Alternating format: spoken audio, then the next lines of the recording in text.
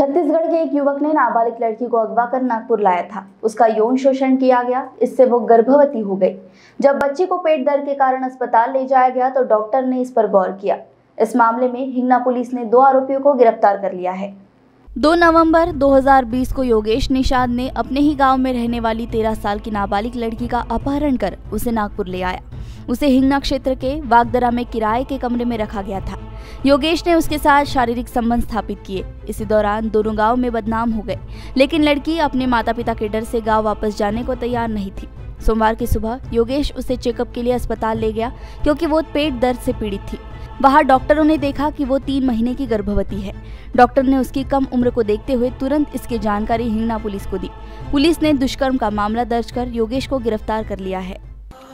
Boss ने meeting बुलाई। बाहर बाहर उठो बैठो। तकलीफ़ उठने बैठने की नहीं तकलीफ़ बवासीर की है। बवासीर फिशर भगंदर पाइलोनियल साइंस का आयुर्वेद तथा आधुनिक लेजर से उपचार कॉल और विज़िट करें www.pilesfistulacure.com